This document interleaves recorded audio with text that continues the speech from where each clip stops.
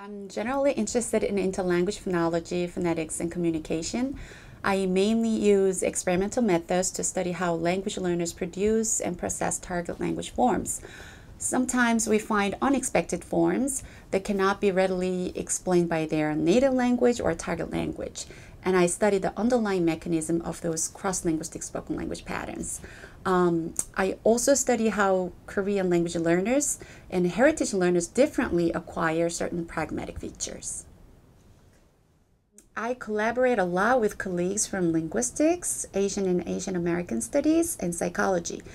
Currently, I'm working on a project on communication of international teaching assistants in a public university in the US.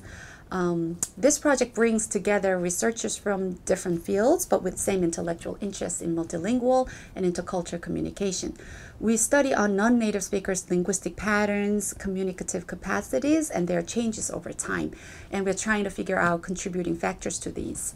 Um, since this study is interdisciplinary in nature, we as collaborators are having lots of intercultural communication. So intercultural communication is not only the topic of our research, but also a tool of our research.